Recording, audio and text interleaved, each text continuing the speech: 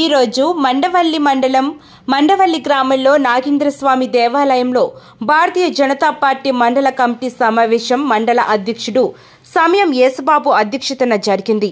ఈ సమావేశానికి BJP senior నాయకులు బండి రంగారావు ముఖ్య అతిథులుగా విచ్చేయటం జరిగింది. మండల ఉపాధ్యక్షులు బండి దివాకర్ ప్రధాన కార్యదర్శి తానంకి నాగసాయి మండల ఉపాధ్యక్షులు యలవర్తి మల్లికార్జునరావు మండలం కోశాధికారి కొనపరెడ్డి శ్రీనివాసరావు చావలిపాడు గ్రామ అధ్యక్షుడు మునగాల రమేష్ మండల కార్యదర్శి సభ్యుడు తలారి అన్నవరం మరియు కార్యకర్తలు పాల్గొనడం జరిగింది. ఈ కార్యక్రమంలో ప్రధానమంత్రి మోడీ సుపరిపాలన గురించి కేంద్ర ప్రభుత్వం ఇస్తున్న సంక్షేమ పథకాల గురించి చర్చించడం జరిగింది.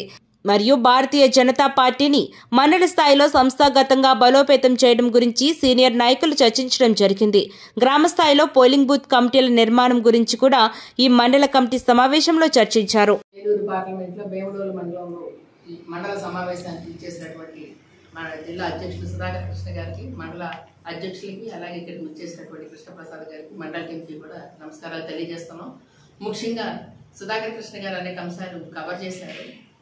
భారతీయ జనతా పార్టీ దేశవ్యాప్తంగా అన్ని పార్లమెంట్ల మీద ఖచ్చితమైన దృష్టి పెట్టడం జరిగింది.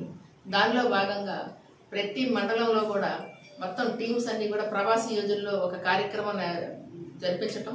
దానికి ఒక ఇన్ఛార్జ్ వచ్చి పోలింగ్ బూత్ల వరకు కూడా కమిటీలు వేయటానికి ఒక ప్రయత్నం అంటూ జరిగింది. అలాగే ఏదైతే సంస్థాగతంగా భారతీయ జనతా పార్టీ ఇప్పటికే ఒక బలమైన పటిష్టమైన పునాది ఏర్పరచుకోవడం జరిగింది ఆ ఏలూరు పార్లమెంట్లో. ఇప్పుడు ప్రతి మండలంలో కూడా సంస్థాగతంగా పోలింగ్ బూత్ నుంచి కనీసం ఒక ఐదుగురిని మేము సిద్ధం చేసి సంస్థాగతంగా బలంగా ఈ పార్టీ దారి చేయడానికి ఒక నిర్ణయాత్మకమైన కార్యాచరణ ప్రణాళిక చేపట్టడం జరిగింది. మోర్చాలు సైతం అత్యంత బల బలవంతంగా ఈ రోజున అన్ని అంశాల మీద యువ మోర్చా కావచ్చు అది మహిళా మోర్చా కావచ్చు అది కిసాన్ మోర్చా ఈ రోజున రైతులకి ఈ మొన్న ఈ మధ్య జరిగిన ఈ ఏదైతే ధాన్యం కొనుగోలులో జాప్యం వల్ల కానీ సంచులు ఇవ్వటం వల్ల కానీ అనేక రకమైన అపారమైన నష్టం అది రైతులకు జరిగింది. వీటి మీద కూడా అనేక సార్లు మేము ప్రతి మండలంలో కూడా పోరాటం చేయడం జరిగింది. మోర్చాల నుంచి ప్రతి సమస్య మీద కూడా పోరాటం దిశగా రాబోయే రోజుల్లో కార్యాచరణ ప్రణాళిక ఉంటుంది.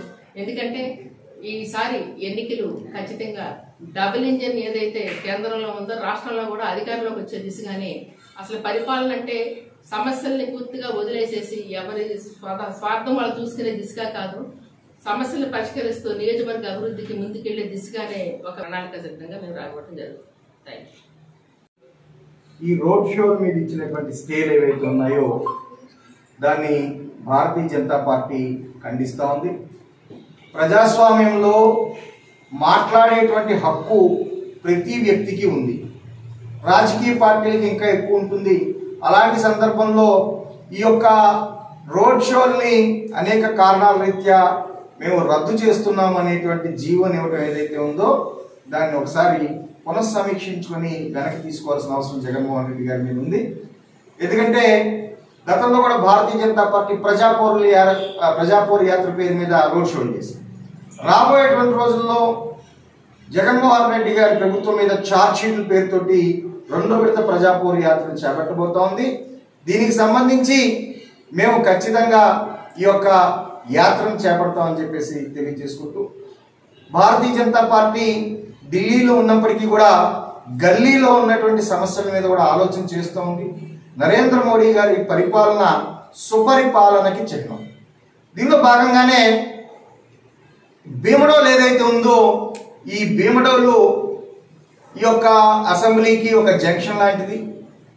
అయితే ఈ భీమడోల్ మీద నుంచి అనేక రైళ్ళు రాకపోకలు జరుగుతోంది. ఇది మెయిన్ ట్రాక్ మీద ఉన్నటువంటిది కలకత్తా చెన్నై మధ్యలో ఉన్నటువంటి ఆ ట్రాక్లో ఉన్నటువంటి భీమడోలు రైల్వే స్టేషన్. మా యొక్క పిఎస్సి మెంబరు నిర్మల్ గారు అలాగే మాల్కిరాణి గారు ఇక్కడ ఉన్నటువంటి పటేల్ గారు శాస్త్రి గారు వీళ్ళందరి నా నాయకత్వంలో గతంలో ఇక్కడ కూడా ఎక్స్ప్రెస్ రైళ్ళని ఆపాలి.